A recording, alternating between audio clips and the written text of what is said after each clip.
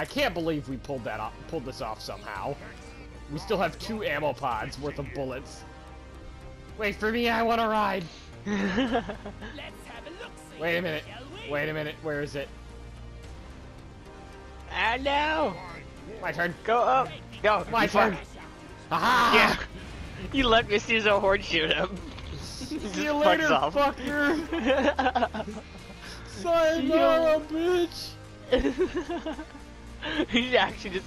You Yeah, know what? Peace out. And DG flew into the. Good work. Please revive my ass.